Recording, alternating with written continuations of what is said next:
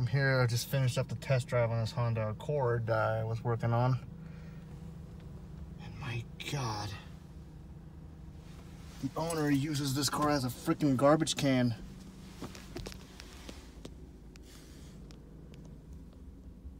Wow. Someone doesn't even take care of their own car. Oh well.